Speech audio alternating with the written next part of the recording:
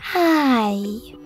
Today I would like to show you how you can transfer files from an Android device to Infinix Note 12 Pro.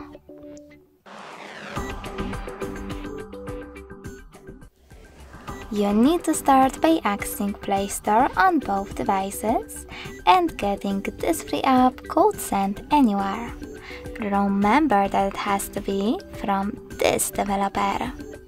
When your app is ready, click on Open.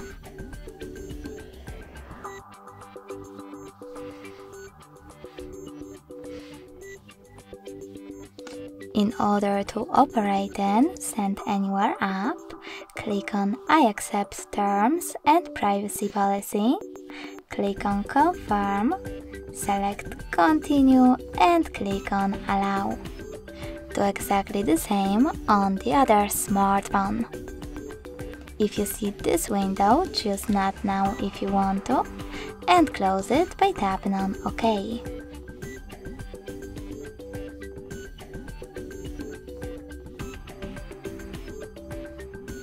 Now choose Receive at the bottom of your Infinix and Send at the bottom left corner of Android. If you see this kind of window, personalize your ad, click on the best option for you and select close this window. Now finally you can choose all of your files that you wish to send. You can click on all of those dots from all of those categories Choose all of those and tap on send next to selected or just click on the chosen ones. In my case, this one. Then click on send as well. Now you need to choose it and pick one of those connection ways.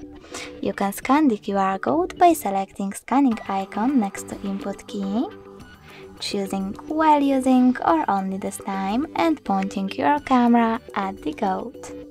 You can also pick this connection method, input the code and hit receive button.